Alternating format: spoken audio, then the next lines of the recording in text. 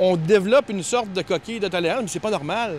Déjections humaines, seringues souillées dans les rues, bagarres et cris font partie du quotidien de résidents près du carré Lépine. Je pense que la fermeture de l'organisme dans l'église du Parvis a fait une différence. Il y a beaucoup plus de gens euh, qui se tiennent euh, dans le coin. Certains estiment que la situation a empiré depuis quelques années près de l'Aube-Rivière. Le nombre de sans-abri visibles est passé de 536 en 2018 à 736 en 2022 dans la région de la capitale nationale. Le restaurant Walk and Roll a décidé de ne plus ouvrir sa salle à manger en raison de la situation. On peut pas mettre le, fardeau sur les commerçants puis les résidents. Et à tous les semaines, euh, qu'il soit quelqu'un dans la porte de la cuisine qui dit Je veux quelque chose à manger.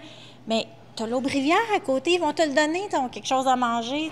Karen a vécu dans la rue et Louis-Dave y est toujours.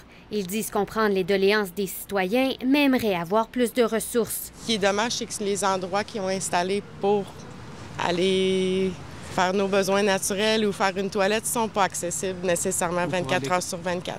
Ils sont bien là, ne pas les juger, mais de peut-être juste leur faire un petit signe, leur dire, écoutez, ça serait le fun que vous ramassiez euh, vos excréments ou euh, ramassiez vos vidanges. Pour améliorer la situation, des citoyens proposent d'augmenter les interventions policières et de réviser l'offre de services de l'Aube-Rivière, voire même le déménager.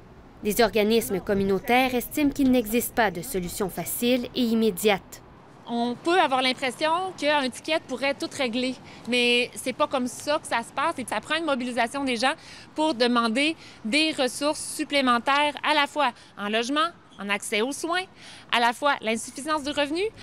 La Ville de Québec reconnaît que la situation doit s'améliorer et dévoilera sa vision plus tard cet automne. Le ministre Lionel Carman, lui, doit annoncer mardi des investissements en itinérance pour la région. Ici Magali Masson, Radio-Canada, Québec.